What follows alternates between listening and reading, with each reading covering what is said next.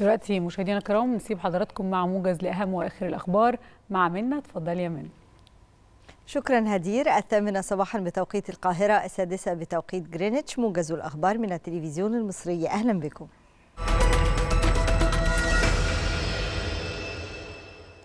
استقبل الرئيس عبد الفتاح السيسي في قصر الرئاسة بمدينة العالمين الجديدة ضيوف مصر الكرام العاهل البحريني الملك حمد بن عيسى الخليفة والعاهل الأردني الملك عبد الله ورئيس دولة الإمارات محمد بن زايد. وصرح المتحدث باسم رئاسة الجمهورية بأن اللقاء تناول العلاقات الأخوية ومختلف الجوانب التعاون المشترك وجدد القادة دعمهم للجهود والمساعي التي تهدف إلى ترسيخ الأمن والسلام والاستقرار والتعاون المشترك على مختلف الأصعدة. كما استعرض القادة خلال لقائهم عددا من القضايا والتطورات الإقليمية والدولية وتبادل وجهات النظر والرؤى بشأنها. أكد رئيس الوزراء العراقي مصطفى الكاظمي أن القوى الأمنية والعسكرية لن تنجر إلى الصراعات السياسية ولن تكون طرفا فيها موضحا أن القوات الأمنية ستبقي واجبها دوما حماية العراق ومقدراته وقدسية الدم العراقي.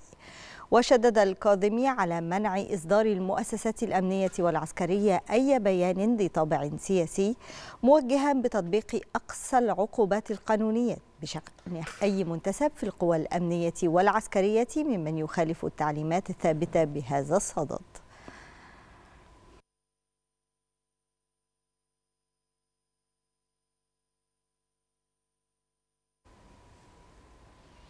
أعلن مندوب روسيا الدائم لدى الأمم المتحدة فاسيلي نيبينينزا أن موسكو وزعت في مجلس الأمن الدولي والجمعية العامة أدلة مصورة على قصف الجيش الأوكراني محطة زابوريجيا للطاقة النووية مشيرا إلى أن قوات كييف تقصف محطة زابوريجيا النووية يوميا باستخدام أسلحة أمريكية ثقيلة. وأضاف مندوب روسيا أن الوضع قد تدهور فيما يتعلق بالسلامة النووية خلال الأسبوعين الماضيين Был взорван автомобиль, за рулем которого находился известный независимый журналист, военный... قال رئيس مركز إدارة الدفاع الوطني الروسي ميخائيل ميزينتسيف إن القوات الأوكرانية تستخدم منشآت مدنية لأغراض عسكرية. وفي تصريحات أضاف ميزينتسيف أن مقر التنسيق المشترك الروسي للاستجابة الإنسانية في أوكرانيا بالاشتراك مع السلطات التنفيذية الفيدرالية ذات الصلة يواصل تسجيل حقائق الإجراءات الإجرامية لنظام كييف ضد المدنيين واستخدام المنشآت المدنية في أغراض عسكرية.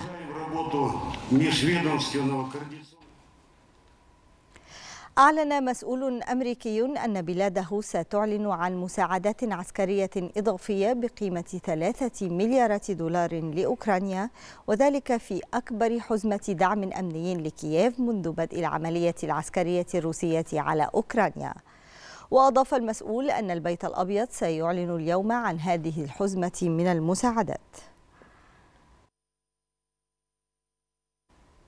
خفض البيت الأبيض بشكل حاد توقعاته لنمو الناتج المحلي الإجمالي الحقيقي للولايات المتحدة للعام الحالي من 3.8% في تقديراته السابقة في مارس إلى 1.4% وأشار البيت الأبيض إلى أن أسباب التباطؤ ترجع إلى عودة ظهور متحور أوميكرون والعملية العسكرية الروسية على أوكرانيا واستمرار التضخم وارتفاع أسعار الفائدة.